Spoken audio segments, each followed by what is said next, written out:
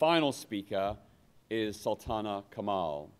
A lawyer by training, she has been a human rights activist for more than 40 years. She participated in the Bangladesh Liberation War.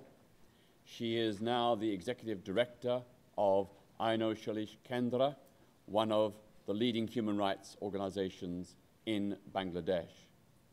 Uh, she's also the current chairperson of Transparency International Bangladesh, uh, national chair of We Can End Violence Against Women, and convener of the campaign Bangladesh Rise Up to Resist, which works to oppose violence against religious and ethnic minorities and others.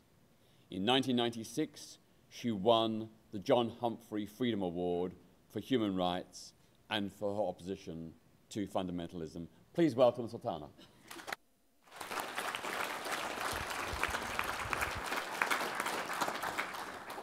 Thank you, Peter. Can you hear me at the back? All right? Okay. Thank you very much, and I must thank the organizers of this conference for having me here, and it's indeed an honor for me to be able to speak in front of you about Bangladesh. Uh, we have to be very brief because it's only eight to 10 minutes to talk about Bangladesh, which is a huge issue, particularly how secularism rose and fell in Bangladesh.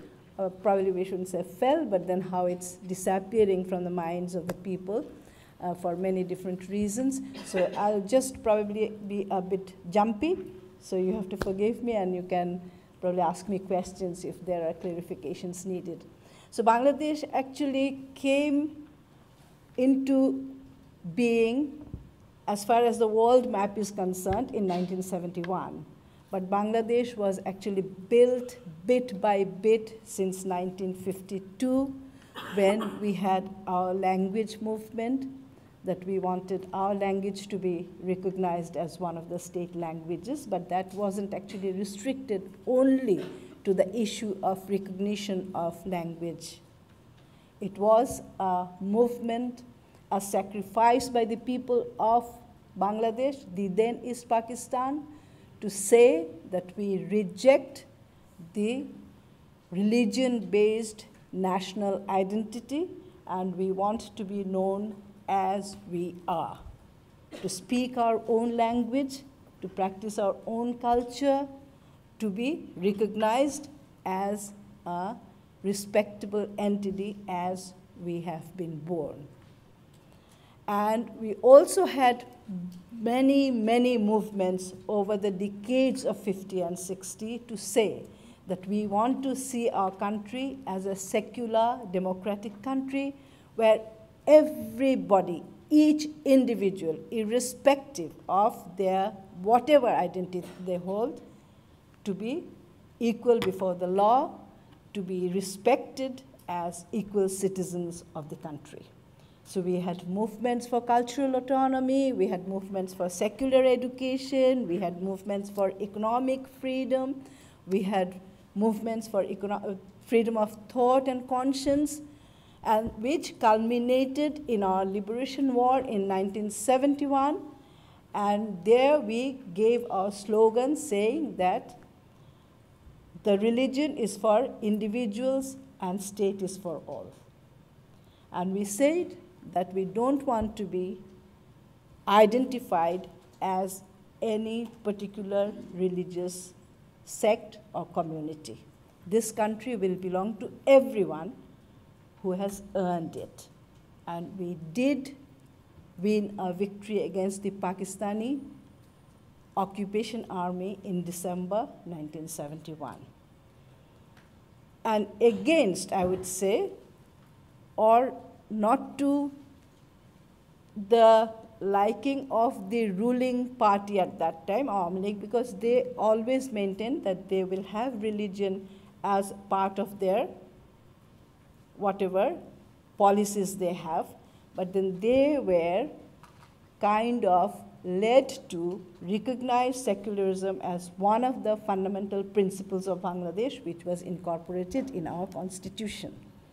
We had democracy, we had nationalism, we had secularism, we had socialism, as the four basic fundamental principles of Bangladesh. And we had definitely many, many questions and comments on the governance between 1972 and 1975, no doubt.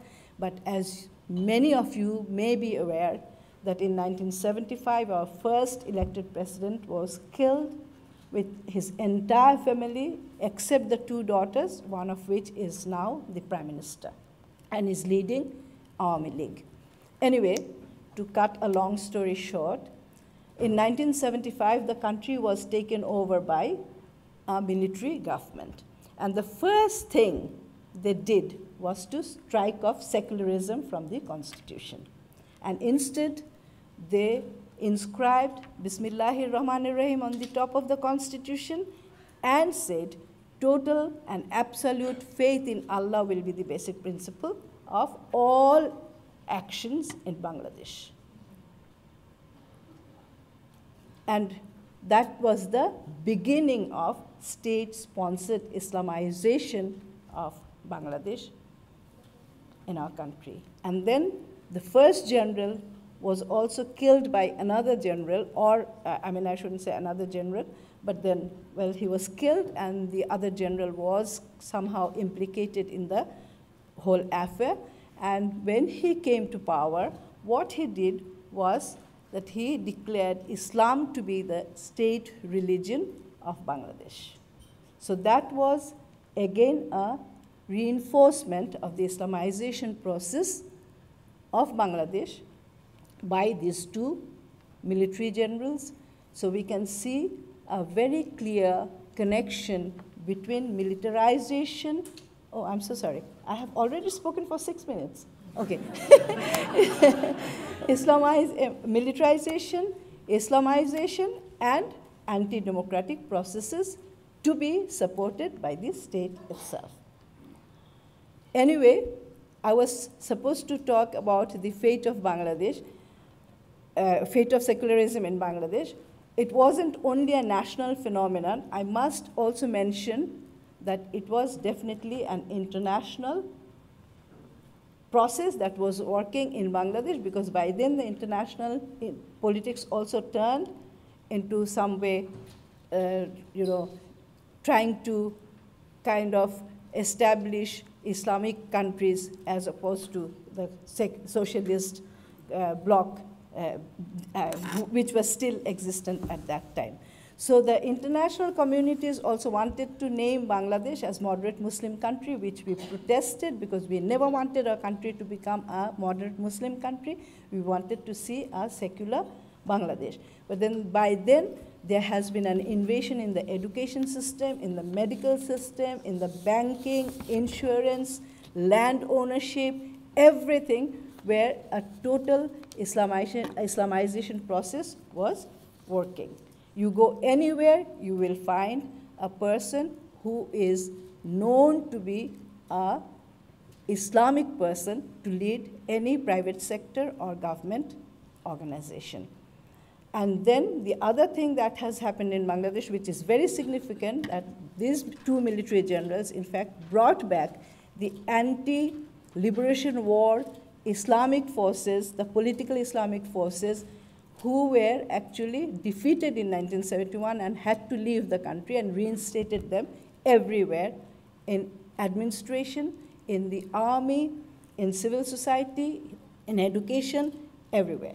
So this was kind of an invasion by the Islamic fundamentalists in Bangladesh.